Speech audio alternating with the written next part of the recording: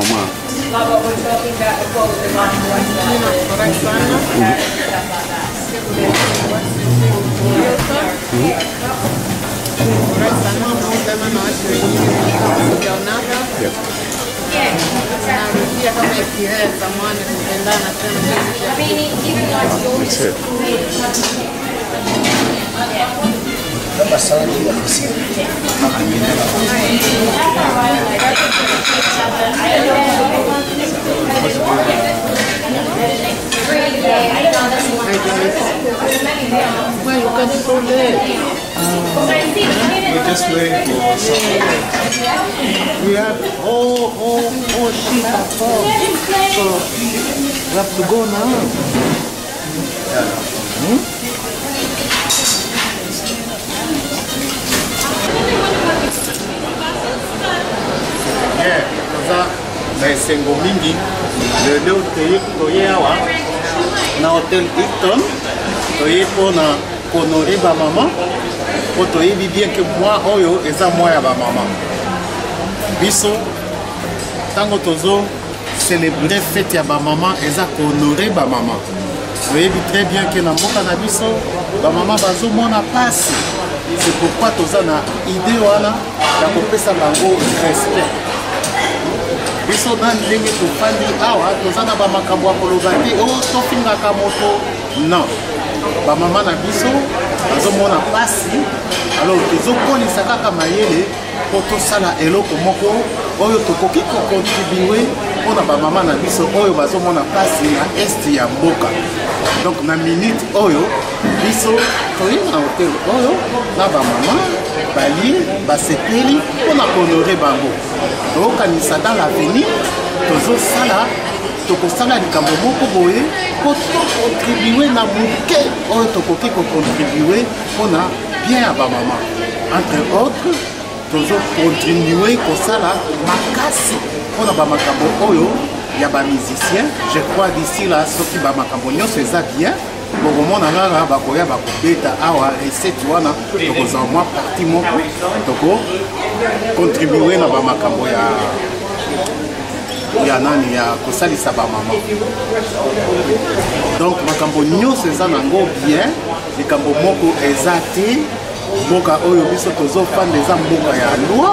moto moko akoki koya te keno atelemela likambo moko boye aza te donc biso na esprit na biso ya bien tosala sorte que tocontribue na kosunga bamama na mboka na biso bamama wana bazomona mpasi moto ata moko te akanisaka biso toza awa tozolia kameme tozozwa moke oyo tozwaka na biso mais tozogarde très bien bafamille na biso à ce moment nous nous sommes décidé na mwa groupe oyo bomoni toye awa na bamindele mosusu mpo tosala oyo mosala ya kokontribue na moke kaka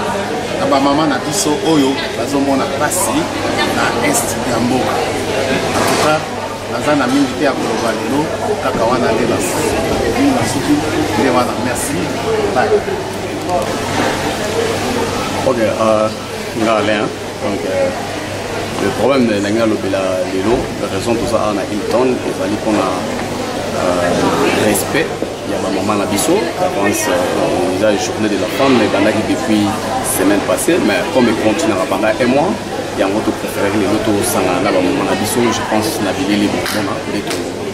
mpona kohonore bango topréféré toya na bango lelo awa na restaurant po topartage na bango eloko ya kolia moke na eloko ya komelaka juste mpona kohonore bango entre tape mpona koraisonne bandeko na biso mosusu mpe oyo bazali euh, euh, na baproblème bamama na biso oyo baza na problème na congo euh, mais baoyo baza vivante yango wana toyaki na bango ensemble mpo tokonore bango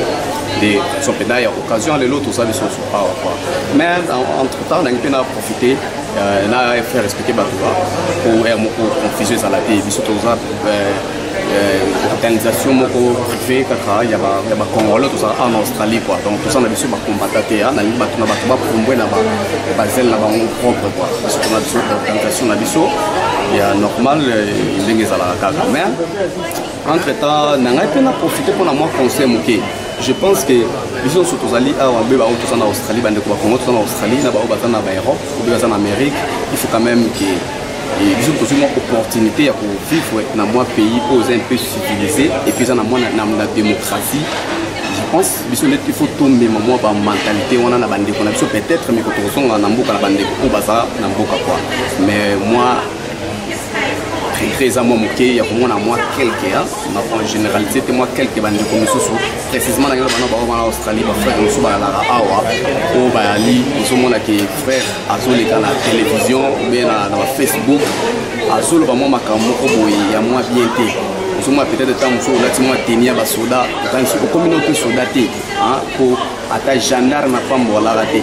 wa rouge ya pamba ozalaka te kader ya pamba ozalaka te meme scout ya pamba olaka te mais oleka ofinga bato ce n'est pas bon okasi okokoma militaire soki okokoma no militaire baopportunité eza nango ebele apo ah, okokoma militaire obo ozongi na mboka okomi no militaire okei kolobela masolo kote kuna mais mwa pa fo mwa respect moko ezalaka ke pa koleka na, na, na bafacebook okileka otangaka bakombo ya bato epuis obandaka kofinga ça ce n'est pas bon hein? mpona mwa bandeko mosusu balekaki tomona ye bango balekaki mpo ndeko germain aza na initiative na ya bien ange organise ne combat plateforme pas ko se tromper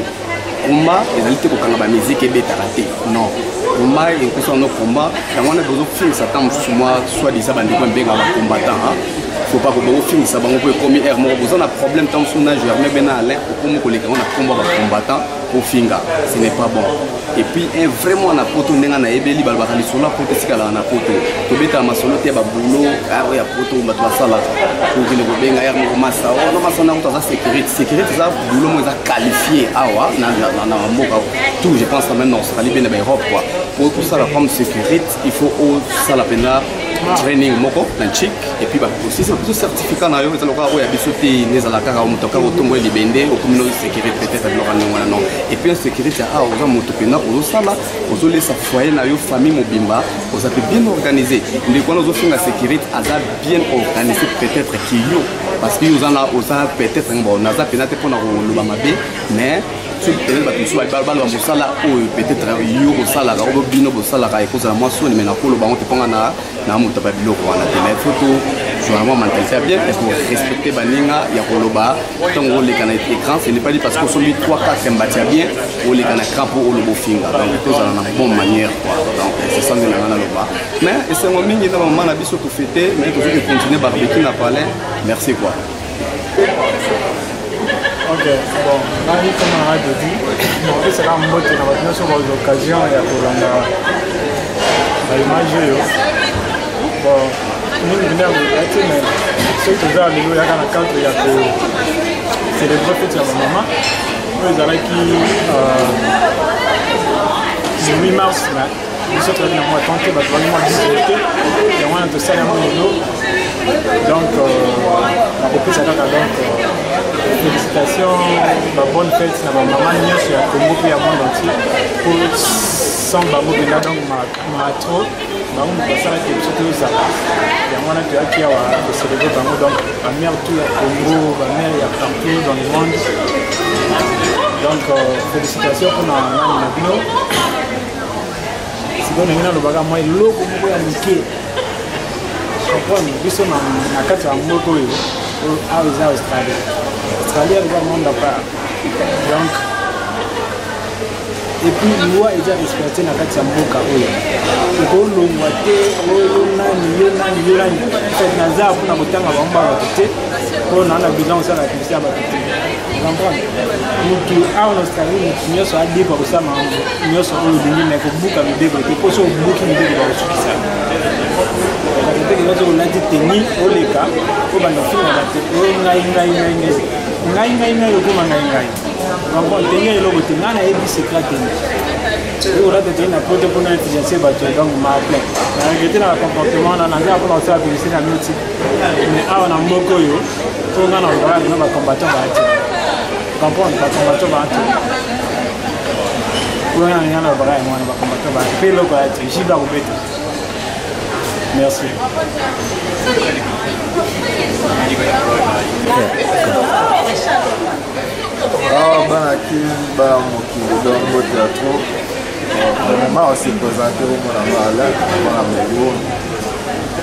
Bomingi kolobela wa likambo matoi na fete ya mère journée de la femme libla na yanga bakoma eloko moko boye vraiment to regrete nango fort bandi banso ya kombata kwa bandeko ka bandeko ka banimo vraiment ya mpasi lelo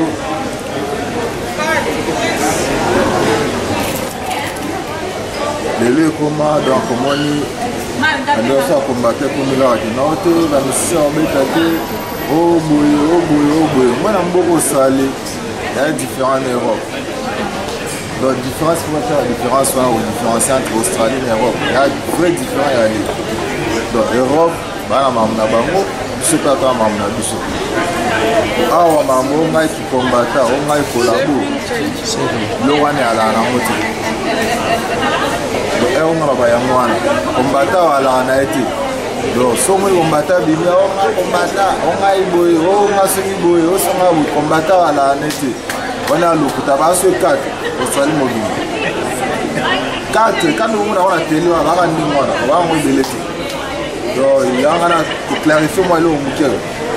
bayaki liboso toka liboso te fali akobeta te na melbourne fali akoya na melbourne lokuta fali ayaki meme pa na contrat yaki boka ba nigérien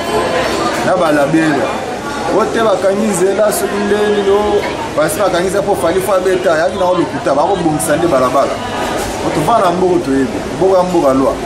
oyo azobaki yo te soki par exemple mise moko ebeta kote baobeta se faux et archi faux to awa yango eyokoki te base trompe te eloko naki yango mpena ya lobango wana epuis deux nayebisa na bato bafingaka bato wana oyebi kutu te mama ozi autorité omofinga wande mesi loso wande na wande na congole différence eza sika bato sika ba être humain nga na mungala na congole mungala meme problème ya biso na na masi na nga rwandi to motu moko soki ata nigeria so auta wapi tatu africain elesa baeuropéen nini passé basalaka te tout d'abord baya misala te bato moko mosu avandeli computer avandelaka internet boyaka kofinga mosala asalaka mpe ya te me biso koto toapela na temps wana te ovanda na bainternet navandela soki natala soki akongo mikili soki nini naba kofinga soki ande kota wana yake nga asalaka na ngai mpo namona pete na weekend mwa samedi na bimi namonani pamba bo awa biloko ani azala donc mwa ona nga olobaka yango wana nanga so abakisa mwa eloko moke na bandima biso so adiza bakombata osali wacha obiso akombata osali akombata la te bakosala bino te kombata te kombata tona clamo ya famille basala mwa famille moko boye bana na melbourne toyi bango ya mwa cla famille moko basala bamisa lokola mo yo bikaka ti bato wana ele ya chichi oyo nde bazalaka peka likolo esila te kaka ndenge moko na awa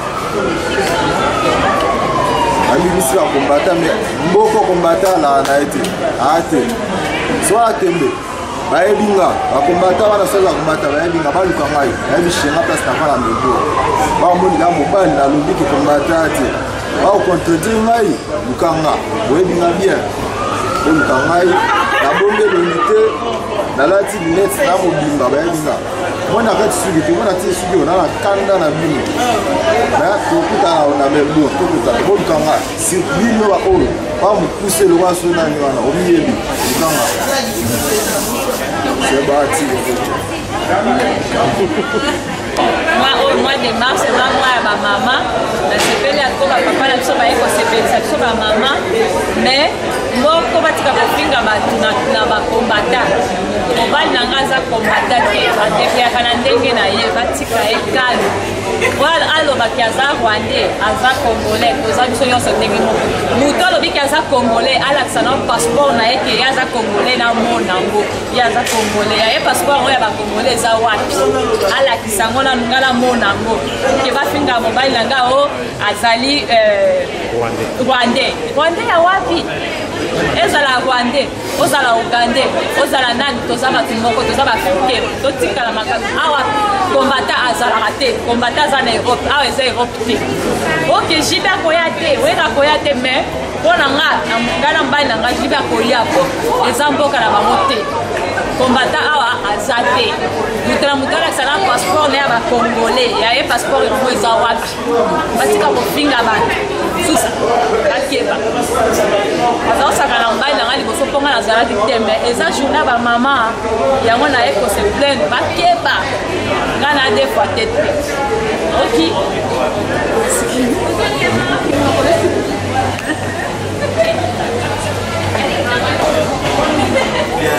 tosepeli ya to toza awa na hilton hotel ya biso ezalaka kaka baaction makambo akoba te toye kohonore bamama ah, ndenge no oyebi ke biso nyonso toza awa touti epa bamama epesi bango respect botala nano exemple chaque motu oyo ayebi ke aza na mwana oyo asi abota aza mwana eloko ntango mwana abandi koyekola koloba eloko ya liboso alobaka ezalaka mama tomona mpe na bamindele bana na bamindele mpe soki alingi ya banda oloba eloko ya liboso alobaka mam mam dedi mama aza motu oyo fale topesa ye respect batata na biso baza neti bamasta ozwa na bana neti bamasta me mama ntango mama alobi alobi sikoyo lelo ifale tomobe bamama topesa bango respect nde yango dimoni bango awa bayena bazwi mwa bilo ya kolia bameli basepeli wana eyosala bien mais eloko oyo eyosala mpasi na motema eza kaka mpona bato oyo bafungaka bamama omoni ke soki mama alobeli yo makambo mabe ekosimba koleka oyo tata akolobela yo mais eh, bino bobandi oleka na bayoutube na bafacebook bofinga bamama boza na respect na bamama te wana eza bien te eh, encore soki moto aosala biloko na ye aza na boule na yo alinga asala eloko ekosalisa bato mosusu bamosusu mpe bamoni bien yo ozwi motema likunya mpo na nini eh? ozwi motema likunya mpo na nini obandi ofinga po oyebi ke moto wana aleki yo mais soki moto aleki yo pesa ye ata congratulation olobi merci zala na courage kende liboso mais eloko mpo na biso bakongole nde wana tokotonga kongo na biso wana te mpo na bakaraktere ya bongo so omoni moto alingi asala pa yo olingi ozongisa ye lisusu na nsima wana eza bien te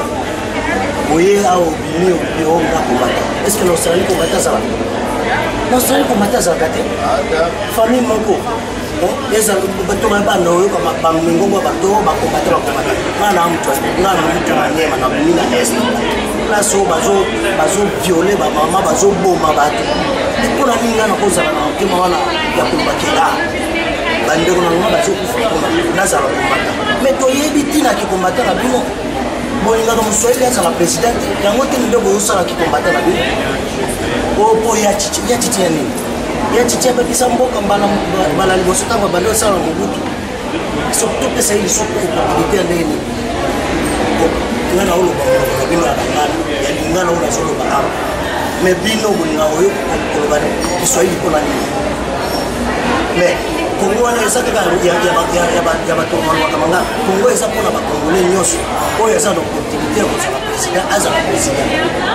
omoni rwandais kaka makambo wana soki omoni moto alati elamba ya bien koleka yo obengi ye rwandais moto aza na ideologie na ye ya kolinga aprogresse obengi ye rwandais oza moto wana asala nini ayoka wana amibomba tokotika te jibe ya koya awa akobeta akobeta mpe tokomona oyo oyo mpenza alobi ke ye kobata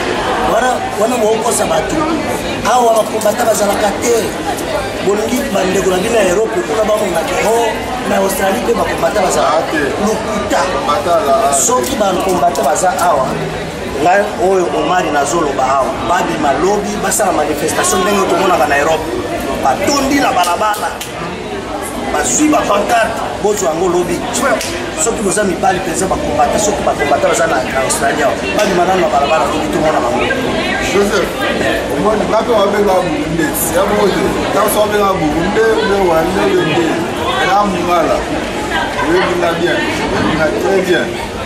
oyebi nga bien naza na makambo jipe akobeta na nko